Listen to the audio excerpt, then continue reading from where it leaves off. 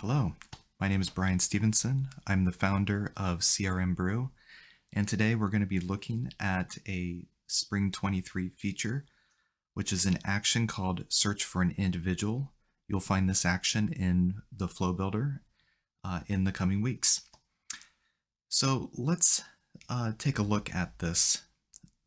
It is a one, it's an action that does a SOSL search on a contact lead or employee record. Um, and if you're wondering what is SOSL, uh, SOSL is very similar to like SOQL in that it can search records in the system, but it does um, a more efficient job of searching for a keyword across multiple fields within an object. Um, it uses uh, tokenized terms and it can uh, do some really advanced type of like fuzzy searching, which is really powerful when you're trying to find records um, and may not know the exact keyword to use. Um, behind the scenes, this action is constructing all of the syntax for you to uh, do these uh, SOSL searches. Here's some examples of what's going on behind the scenes. And so let's go ahead and jump into uh, an example flow that I built. In this flow, I have a screen which accepts a keyword. I have a conditionally displayed uh, text when there's nothing found. I'm using the unofficial SF's data table to display the search results. And I have a conditionally displayed button. So when you select something from the data table, it will uh, let you take an action on it. I overrode the next button with search. So when you do a keyword search, you just click the button there, which does all of the um, uh, lookups in the next step here. So this is where all of the magic happens. Uh, this is the action where you can specify whether it searches a contact lead. And I do want to point out here that even though the documentation says it searches employee records, I'm not seeing anything here that would indicate an employee record, such as a user. Um, and when I look down here in the advanced, uh, I do see something here regarding employee IDs, and maybe this is just um, because it's in beta, maybe that just hasn't been built yet, but I just wanted to call that one out as um, uh, something that may be forthcoming. So once you choose your object, you choose which fields you want to search within that object, phone, name, and email if you want a very um, focused search, or you can just say all fields, which will uh, find everything that is supported by SOSL. And the keyword search, which is the text field that I am capturing from the uh, screen before. Uh, in this flow, I'm counting the search results, and if it's uh, greater than zero, it will uh, make sure that the um, uh, records not found message is not displayed. And you may be wondering why I need to do this search if I'm already doing this search. This particular component is only returning the IDs that like the contact IDs or lead IDs, the record IDs, which means once we get the search results, we need to actually pull in those contact lead records using uh, the in operator. So uh, in this case, I'm doing a SOQL search uh, for the contacts with IDs that are in this collection of IDs and this collection of IDs is what you're seeing right here. It's basically just a, a collection that can be passed in. And this is such a cool feature. This in operator, they added it a few months ago. It's a real game changer. It makes life so much simpler when you have a collection of IDs that you need to um, query all at once.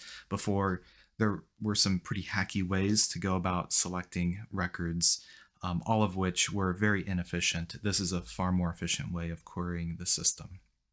So I'm taking the results, sorting it by name, and Uh, and then right here, you'll see that I'm redirecting the flow back to the original screen to display the results.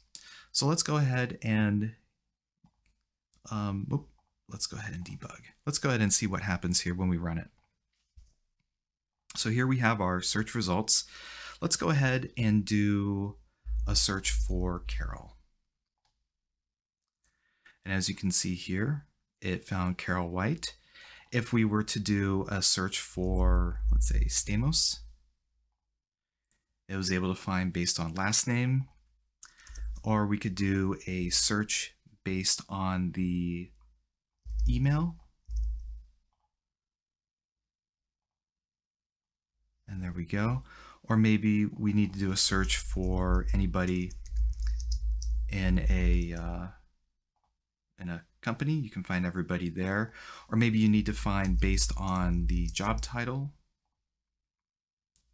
Or perhaps uh, you're uh, given a phone number and you need to find it that way. Uh, it's even smart enough to do a fuzzy search. So if you were to do a phone number uh, without the dashes or parentheses, or even maybe you have just like the uh, without the area code, you can do a search like that and you can find all the phone numbers uh, that way. Again, that's the power of SOSL. It gives you a lot of flexibility in the um, search terms and uh, being able to look at the entire index of fields and all the tokens that have been created uh, to very efficiently search the system. Uh, you may be wondering um, a bit more about which fields are actually searchable. I found this thing the other day. Uh, if you were to go into setup and type in search manager, even though it says Einstein search, this I think is a very helpful tool. If you click on this here and then go to contact, and let's sort by searchable, you'll see that we searched by account, email. Um, oh, I didn't show you that. We can search by address. So if we were to go in here and type in uh, Canada, you'll see that we have everybody from Canada, or maybe we type in USA, brings everybody back from the USA. So uh, ma mailing address is um, supported, any phone number really, even custom text fields. Um, so if you have something in the system, I actually, just for fun, tested that one out, uh, created a, um, a custom text field and put the word Christmas in it. And sure enough, it found that as well. So custom fields are supported. Names, obviously, phones, title. And also, you notice that I did a search by account name, which um, even though on the contact it's account ID, because it's a lookup for um, a related record and it's a name, uh, somehow that shows up in the SOSL index. So I'm, I'm actually kind of curious if um, other lookups are supported as well. I would encourage you to play around with this tool. I had a lot of fun getting to learn how it works. If you have any questions or feedback, please leave a comment and subscribe and like if you would like to be notified of more articles or videos in the future. Have a great day.